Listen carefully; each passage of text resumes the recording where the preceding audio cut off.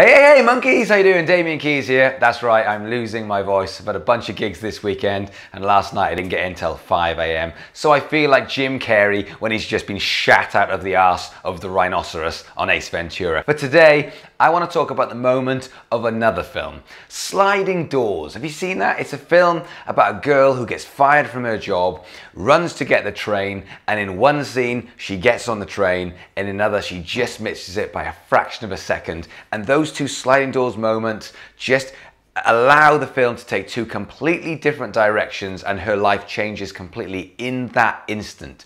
And everyone has these sliding doors moments. And I know what my sliding doors moment was. I was 19 years old. In fact, I might have just been just on the cusp, but I was 19 years old. And my band had kind of broken up and I was feeling a bit sorry for myself. I didn't really know what to do. And my mum came in one day and she said, she had a newspaper and she just said, I found this advert for a course that I think would be really good for you. And it's, it's, for, it's for all musicians, and I'm from Swansea, and it's in Cardiff, and you get to go and play with other musicians and get taught. And I was like, uh, maybe. And she said, no, honestly, it sounds really good, have a look. And I looked at the advert and I just thought, actually, that sounds like a lot of fun.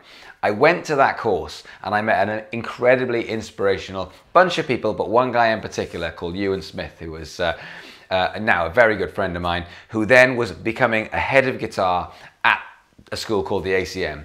I met him on that course. Then I went, because I wasn't planning on going there, I went, I met a bunch of guys at ACM. My career has stemmed all of the way, and I can trace it all the way back to the moment where I went home and my mum showed me this, this advert. That moment.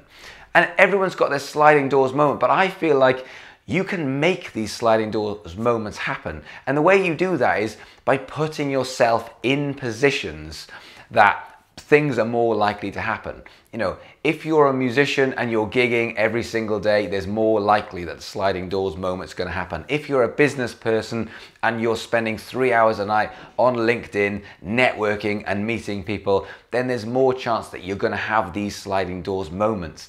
And I think when I look back, I could so easily have missed that moment and my whole life. I, I'm pretty sure I probably would have been working in a factory for the rest of my life. All back to that one moment.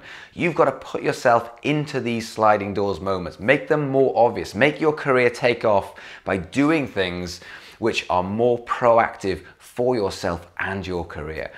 And when I thought of that the other day, because I saw the film and I was like, wow, everyone's got their sliding doors moment. But that was my entire career down to five seconds. Pretty inspirational for me, but have a think about it. And if you haven't had your sliding doors moment, or more importantly, just like me, you want more sliding doors moments, then make them happen. I'll see you guys tomorrow.